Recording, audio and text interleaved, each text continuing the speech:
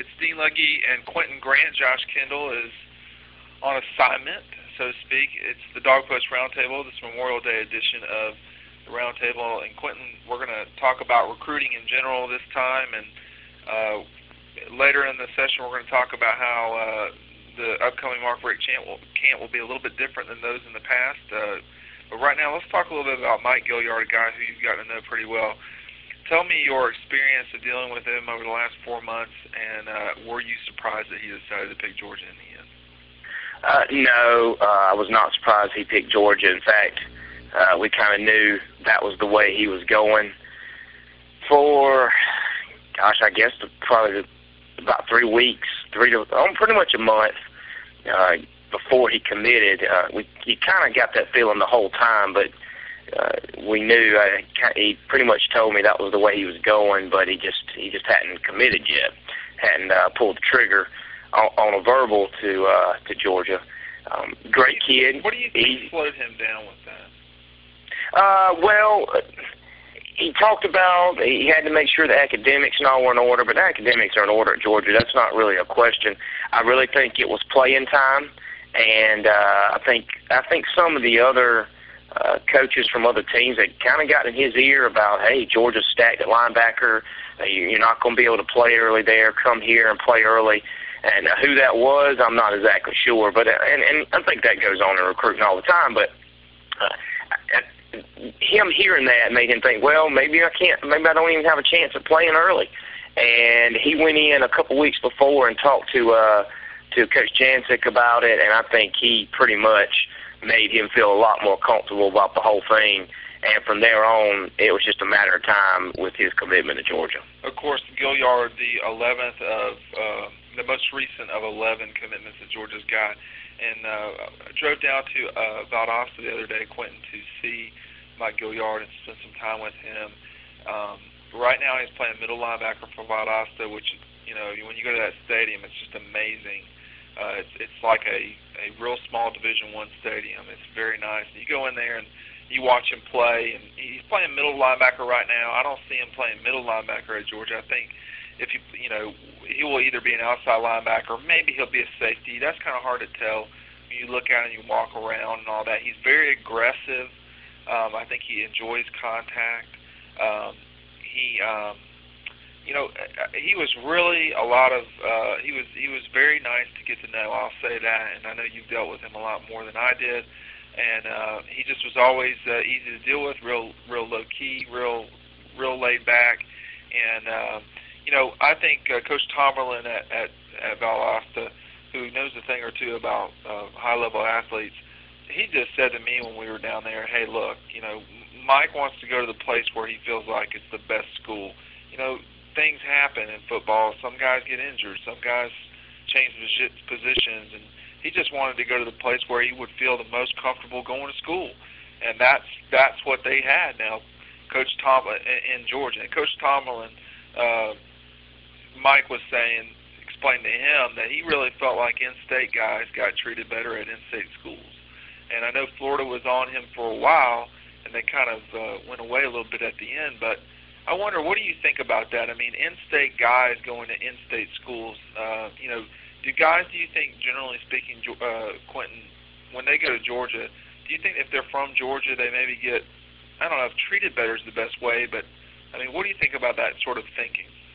I don't know that I'd use the word tr- uh, treated better. I think you're going to use the word fit in better. Maybe. Uh, and especially at a place like Georgia where you've got a ton of Georgia kids.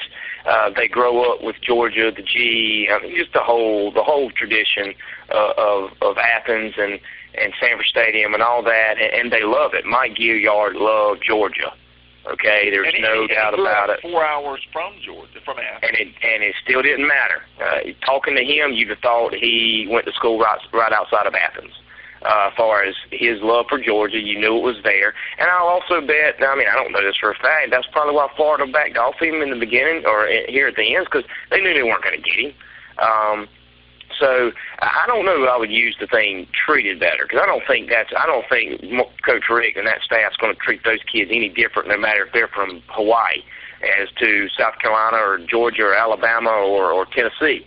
Um, those kids are all going to be treated the same when they step on campus in June. uh, but it's probably a little bit easier to fit in because a lot of these guys grew up playing against each other and and they go to these combines and and the Georgia camps and and they all know each other. So probably fit in is a, is a better term. I think that's interesting. Uh, speaking of the camps, as we transition to that, this this year will be different. You've been to several of these uh, Richt camps over the years, Quentin, but now with more than 50% for sure of this class signed, or excuse me, not signed, but committed how do you think this camp will be different this year? It's it's it's certainly uh, you know there have been times in the past where you know uh, Clint Boling, Cornelius Washington, and guys like that committed out of camp. Well, you know this year that doesn't necessarily seem to be the case just because of the numbers game. Yeah, you don't really know that that's uh that's a done deal. And and going into these camps, and especially at Richt's camp, it seems like he probably gets on average about two commitments a camp and it's something for you to look forward to, and for uh, uh, the people that are a part of Dawg Post and just a part of Georgia in general and Georgia fans to look forward to. And you just don't really know if that's going to happen this year. Um, kids commit earlier and earlier, and you just uh, Georgia's not far from being done. So um, a lot of kids that'll probably be at the camp are going to already be committed. And so, do you get those two commitments that you generally get there. So I guess that's kind of up in the air this year. Um, and I guess that really depends on who attends who attends the camp at the same time. Right, and, and actually, literally, uh, if I'm not mistaken, nobody committed last year, but that was because Ben Jones. Uh, ben Jones a couple of days later committed to Georgia after checking out Alabama, and um, and the year before was Clinton Boling. Clinton Boling uh, and Cornelius Washington. That's right. Mm-hmm. So yeah. it's it's one of those things where, you know, well, we'll tackle this one of these roundtable discussions soon with Josh. Is it a good thing to get so many guys committed early? I think that's a fair question.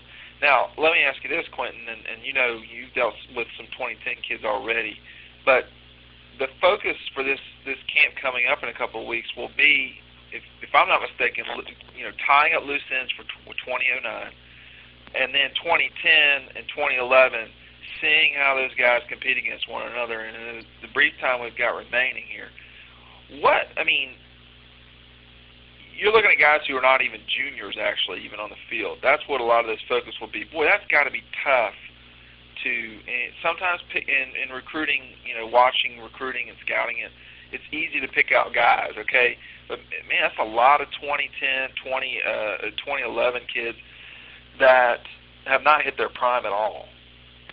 No, and, and it's it's almost going from a science to a guessing game at, at that point. Right. I think 2010, it, that's starting to to come into the picture, especially with the amount of film and things like that that are out now, and and tw- but 2011 kids that are just going to be sophomores next year. I mean, that's just there's so much more growing and developing and all that's going to happen for these kids physically in the next two years. Um, but you know, some of these 2010 guys, I mean, they're already getting a lot of attention. And it's crazy. Uh, you bring up a kid, just a kid I've been dealing with, uh, Julian Horton. Uh, he's getting a lot of attention, and you know what?